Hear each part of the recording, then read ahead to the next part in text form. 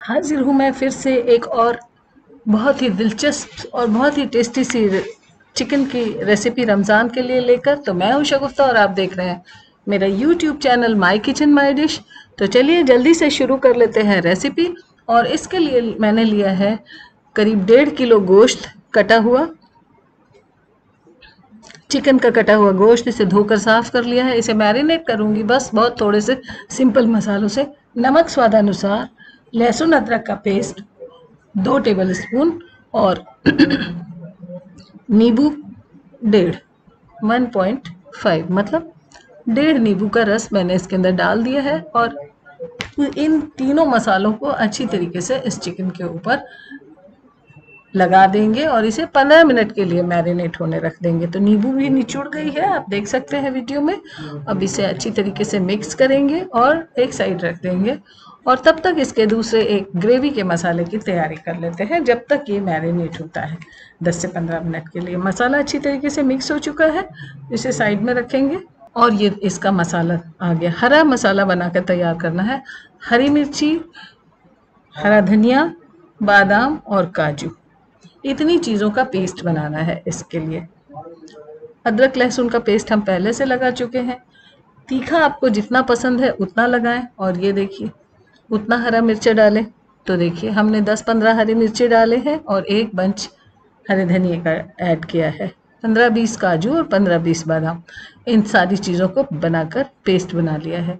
ये है प्याज। तीन प्याज हैं छोटे साइज़ के। उन तीन प्याज़ों को मोटा मोटा काटा हुआ है। एक मिक्सिंग बोल में मसाले निकाल लिए हैं हरे वाले, पिसे हुए और ये प्याज इसकी भी पेस्ट बना लेंगे। तो ये देखिए प्याज की पेस्ट आ गई। इसे भी इसके अंदर डाल देंगे।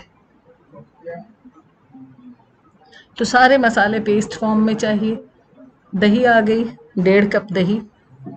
इसे भी फेंट दिया है, एकदम अच्छे से पेस्ट हो गई है। उसे भी डाल दिया। कसूरी मेथी डाल देंगे। करीब एक टेबल स्पून के जितनी कसूरी मेथी इसके अंदर ऐड कर देंगे और सारे मसालों को ऐसे मिक्स कर देंगे। नमक हमने चिकन में पहले से डाला हुआ है, इसमें भी थोड़ा सा नमक ज़रूर ऐड करेंगे ताकि मसालों में बराबर से टेस्ट आ जाए। तो ये सारे मसाले मिक्स होकर तैयार हो गए हैं। अब इसके अंदर हम डाल देंगे इस चिकन को, जो पहले से मैरिनेट की हुई रखी है। नमक, नींबू और लहसुन अदरक के पेस्ट के साथ में।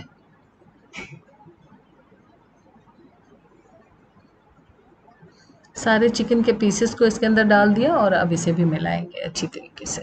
ऊपर नीचे करके अच्छी तरीके से मिलाएँगे ताकि वो हरा मसाला उसमें अच्छी तरीके से मिक्स हो जाए। अब एक पैन को गरम कर लिया है और इसमें डाला है हमने दो टेबल स्पून असली घी।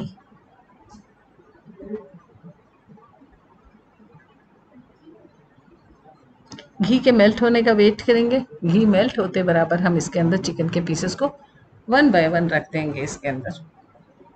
और इस चिकन को हम पकाएँगे तब तक, जब तक इसके ऊपर लाल और ब्राउन स्पॉट्स आ जाएँ, सारे पीसेस के ऊपर।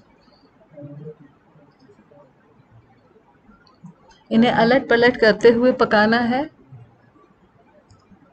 थोड़ा बीच बीच में ढक दे तो उससे सॉफ्ट हो जाएगी चिकन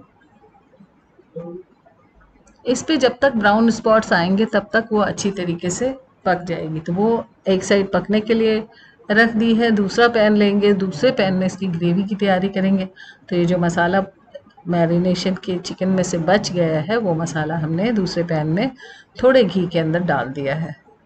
और अब इसे भून लेंगे। इसे चार पाँच मिनट कुक करेंगे तो ये भून के तैयार हो जाएगा। और ये देखिए, दूसरे पैन में चिकन तो चिकन के ऊपर देखिए रेड रेड और ब्राउन ब्राउन स्पॉट्स आना शुरू हो गए हैं। अच्छी तरीके से स्पॉट्स आ गए हैं और इस पे जो मसाला लगा हुआ था वो अच्छी तरीके से भुन चुका है और चिकन भी गल के तैयार हो चुकी है। मतलब ये चिकन पक के तैयार हो चुकी है। इस पे ब्राउन स्पॉट्स आने तक वो अच्छी तरीके से कुक हो चुकी है और गल भी चुकी है। और ब्राउन स्पॉट्स आने से उसमें बहुत अच्छी खुशबू आना शुरू हो गई है। और ये दूसरे पैन में ये भून रहा है मसाला। मसाला भी भून के तैयार हो चुका है। ऑयल उसमें से सेपरेट दिखाई देने लगा है।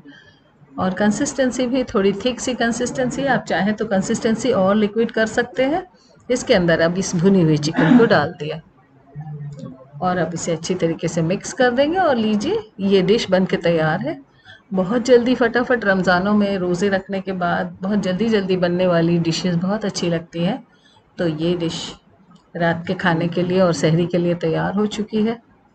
ये देखिए, हमारी डिश तैयार है। अब हम इसे डिश आउट कर देंगे और इसे गार्निश करेंगे अपनी मनचाही गार्निशिंग के साथ में। हमने अपना सर्विंग बोल ले लिया और इसके अंदर इसे निकाल दिया है। पीसेस पीसेस निकाल दिए हैं। देखने में ही बहुत टेम्पटिंग लग रहा है।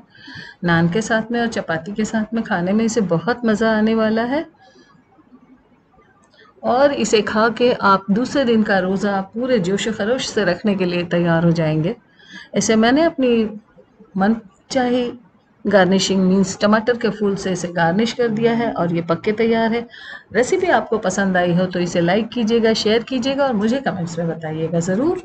और अगर आप चैनल पे पहली बार आए हैं तो सब्सक्राइब किए बगैर कहीं मत जाइएगा। Take a very good care of yourself and your family bye